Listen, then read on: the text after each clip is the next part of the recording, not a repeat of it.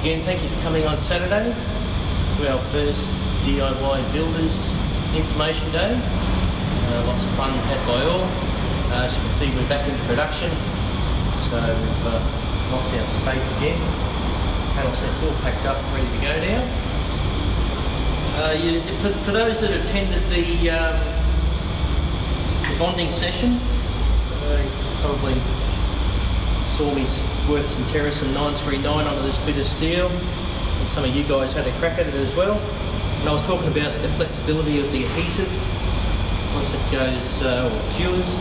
Sam, if you can zoom in here, you can see the adhesive flexing. But of course it's bond to the steel, it's just incredible. You can feel all the light, you just can't get that off. Uh, you might have witnessed me put this panel onto the adhesive. It's uh, what now just over 48 hours since it's been on there, so we can now try and tear it off. And by hand, I've just got no chance, so we'll have to go and uh, get some help.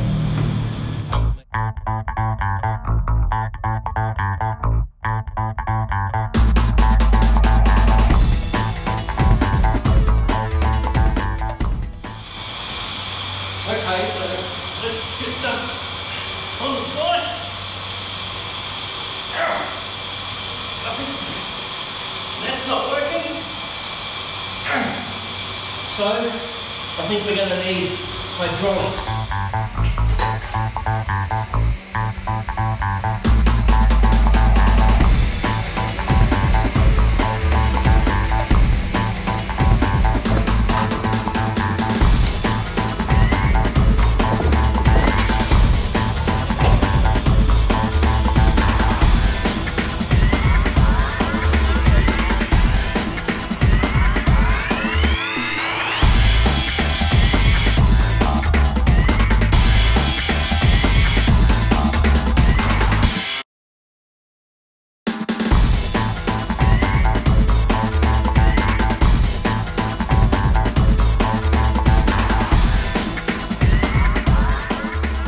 Welcome back. Uh, you saw those destruction videos and they were pretty impressive. It's, uh, like I said, it's just over 48 hours since we applied the adhesive to the steel frame.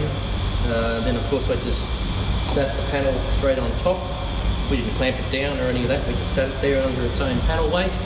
And um, well, you can see the extreme forces we applied to it and it actually broke the panel. And, um, quite frankly, your, your RV's never going to see those sorts of forces. But um, I mentioned uh, in the school that deep down within the core, it will still be wet for up to a good week perhaps. And as, as I found out, deep within the core, once I broke some of the skin away, it is still wet. So this really, in fact, is not fully cured, but uh, you can see the incredible strength that the Teroson MS939 by Henkel provides. So this is the number one reason why we only uh, use and recommend it.